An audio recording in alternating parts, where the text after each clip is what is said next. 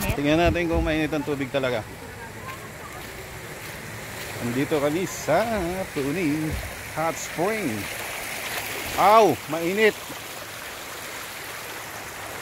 Mainit nga.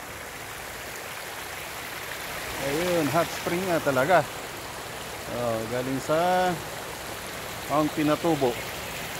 Oh. Ayun. Hmm.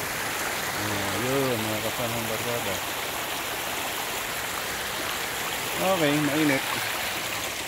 Ito na, magsiset up na ako.